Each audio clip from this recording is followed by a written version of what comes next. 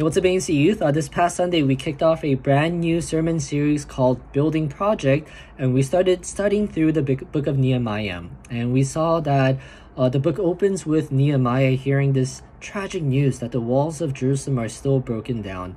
And he responded to that immediately by getting on his knees and praying. You see, prayer is our foundation for life, it is what we build our life on this dependence on God in prayer. And that's exactly what Nehemiah did. And uh, some of us might be wondering, well, how do I do that? How do I build a foundation of prayer in my life? Uh, Nehemiah teaches us or gives us this good model that we could follow and learn from. Uh, the first thing that he did was proclaiming who God is and God's promises.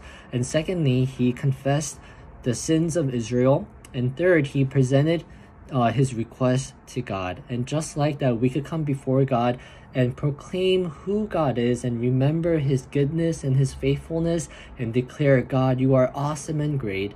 And we could confess our sins, which is really the key that opens the door to restoration and forgiveness.